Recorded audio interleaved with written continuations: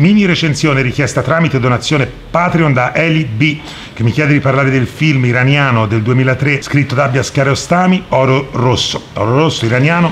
una fotografia meravigliosa, una messa in scena realistica bellissima. È la storia appunto di Ali e Hussein, che sono due amici che si barcavevano nel modo più possibile per accumulare dei soldi e a Hussein portare pizze a domicilio e tutto il resto, e però sogna un mondo per lui più ricco, una ragiatezza che non potrà mai avere e quindi decide di fare una rapina. Allora, la trama è tutta qui se vogliamo. Il film inizia già in realtà a livello circolare, appunto come nel cerchio, altro capolavoro, come questo Oro Rosso che è un filmone. Inizia in maniera circolare, cioè con la rapina del nostro e poi si torna flashback e ci fa vedere come è arrivato appunto a questa rapina. È un film in realtà fatto di incontri, di incontri che il nostro fa durante i, suoi viaggi eh, appunto per Teheran, le persone che incontra, ciò che si trova davanti. Ci descrive in realtà una società, ci descrive una, una chiusura mentale enorme, ci descrive un mondo eh, a noi che sembra così estraneo eppure a volte molto occidentalizzato, specialmente se si hanno i soldi. E dopo quell'inizio lì, con quel piano sequenza lì, in macchina fissa, è, è impressionante poi come si torna indietro, appunto questi flashback, è impressionante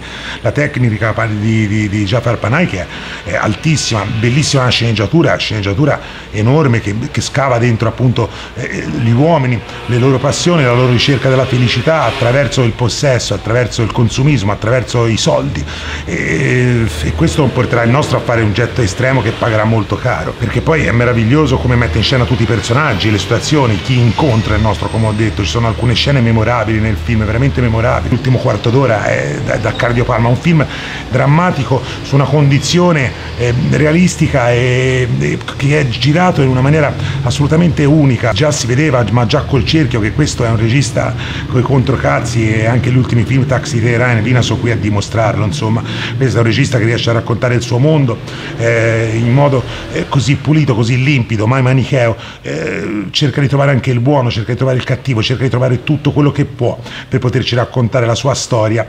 quella che vuole raccontare appunto scritta da Chiarostami ma che lui mette in scena con una mano unica. Quindi seguendo la scuola del, del neorealismo praticamente quasi rosselliniano, il nostro porta a casa un filmone, un filmone è di quelli che non si dimenticano proprio, uno di quei film che dimostrano un'altra volta come a volte gli effetti speciali e tante rincorse non servono niente nel cinema quando si ha qualcosa da narrare e raccontare e qui il nostro iraniano lo racconta di lusso proprio in una maniera eh, talmente ben fatta al suo quarto film che eh, sembra che ne abbia fatti già 40 ma eh, se guardiamo il suo film precedente e altri film come Il Cerchio ho detto sono tutti bellissimi e continuerà una grande carriera. Quindi per me questo Oro Rosso del 2003 di Parani è un grandissimo film uno dei migliori film degli anni 2000 e dimostra un'altra volta come questo regista iraniano sia una spanna sopra molti altri ben più riconosciuti eh, dalla massa. E quindi che vi posso dire? Per me il link è qua sotto è un film indispensabile Oro Rosso un filmone incredibile che praticamente quando uscì un po' di scalpore lo fece ma come per tutti i film d'autore insomma sembrano quasi dopo due anni non esistere più. Invece se volete il mio consiglio